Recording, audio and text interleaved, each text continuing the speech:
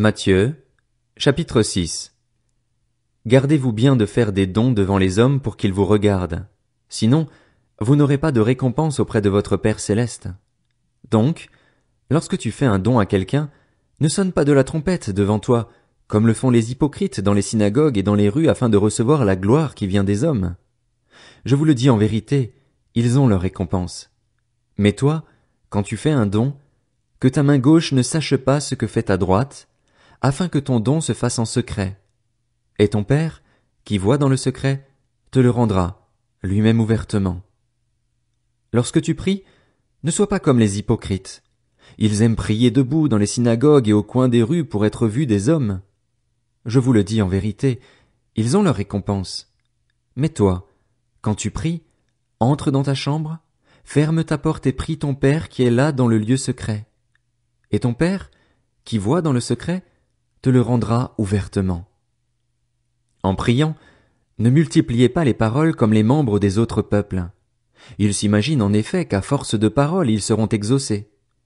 Ne les imitez pas, car votre Père sait de quoi vous avez besoin avant que vous le lui demandiez. Voici donc comment vous devez prier. Notre Père céleste, que la sainteté de ton nom soit respectée, que ton règne vienne, que ta volonté soit faite sur la terre comme au ciel. Donne-nous aujourd'hui notre pain quotidien. Pardonne-nous nos offenses, comme nous aussi nous pardonnons à ceux qui nous ont offensés. Ne nous expose pas à la tentation, mais délivre-nous du mal. Car c'est à toi qu'appartiennent, dans tous les siècles, le règne, la puissance et la gloire. Amen. Si vous pardonnez aux hommes leurs fautes, votre Père céleste vous pardonnera aussi. Mais si vous ne pardonnez pas aux hommes, votre Père ne vous pardonnera pas non plus vos fautes. Lorsque vous jeûnez, ne prenez pas un air triste comme les hypocrites. En effet, ils présentent un visage tout défait pour montrer aux hommes qu'ils jeûnent. Je vous le dis en vérité, ils ont leur récompense. Mais toi, quand tu jeûnes, parfume ta tête et lave ton visage afin de ne pas montrer que tu jeûnes aux hommes, mais à ton Père qui est là dans le lieu secret. Et ton Père, qui voit dans le secret, te le rendra. Ne vous amassez pas des trésors sur la terre, où les mythes et la rouille détruisent et où les voleurs percent les murs pour voler, mais amassez-vous des trésors dans le ciel, où les mythes et la rouille ne détruisent pas et où les voleurs ne peuvent pas percer les murs ni voler.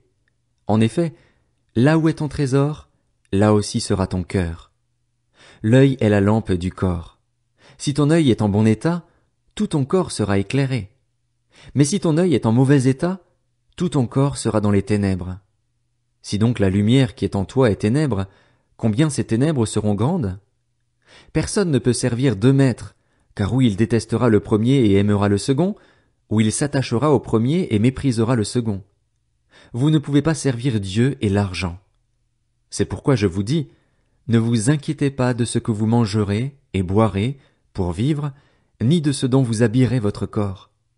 La vie n'est-elle pas plus que la nourriture et le corps plus que le vêtement? Regardez les oiseaux du ciel. Ils ne sèment pas et ne moissonnent pas. Ils n'amassent rien dans des greniers. Et votre Père céleste les nourrit. Ne valez-vous pas beaucoup plus qu'eux? Qui de vous, par ses inquiétudes, peut ajouter un instant à la durée de sa vie? Et pourquoi vous inquiéter au sujet du vêtement? Étudiez comment poussent les plus belles fleurs des champs. Elle ne travaille pas et ne tisse pas. Cependant je vous dis que Salomon lui-même, dans toute sa gloire, n'a pas eu d'aussi belle tenue que l'une d'elles. Si Dieu habille ainsi l'herbe des champs, qui existe aujourd'hui et qui demain sera jetée au feu, ne le fera-t-il pas bien plus volontiers pour vous, gens de peu de foi? Ne vous inquiétez donc pas et ne dites pas, que mangerons-nous? Que boirons-nous? Avec quoi nous habillerons-nous? En effet, tout cela, ce sont les membres des autres peuples qui le recherchent. Or, votre Père céleste sait que vous en avez besoin. Recherchez d'abord le royaume et la justice de Dieu, et tout cela vous sera donné en plus. Ne vous inquiétez donc pas du lendemain, car le lendemain prendra soin de lui-même. À chaque jour suffit sa peine.